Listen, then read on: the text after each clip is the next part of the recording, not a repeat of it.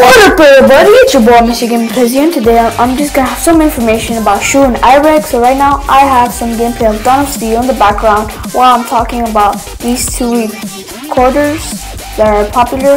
So anyways, um, for Shou to record your screen you will have to jailbreak your iOS 9 device um, for this to work. And leave down in the comments below if you found any way to jailbreak because I haven't. And um, tell me if this works for you, if you jailbreak, jailbreaked already or whatever. So right now I have a picture. Alright guys, it says Shou can't record iOS 9 device screen without jailbreak. That I took a screenshot of. And now iRec. Okay, so iRec um, I, I was reading the Twitter and it said they're working on um, bugs and fixes or something else, but I don't remember.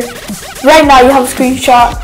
And um, they also said after that or whatever they're going to be working on iOS 9 for screen recordings.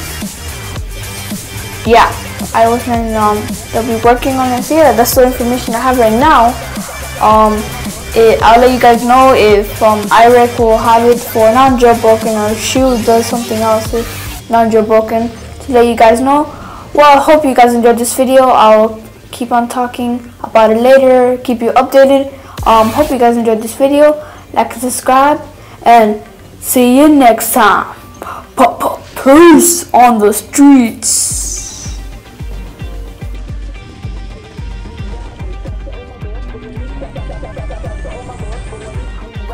Uh, what up guys, I just forgot something to mention, um, it's that I'll have a link in the description on how to record the videos for iOS 9.